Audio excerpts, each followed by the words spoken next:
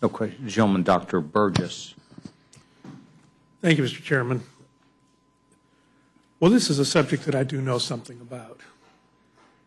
And I will just tell you, from the delivery of thousands of babies, attending thousands of women during their pregnancy, performance of thousands of sonograms, there's no question in my mind, no question in my mind that a baby at 20 weeks after conception can feel pain.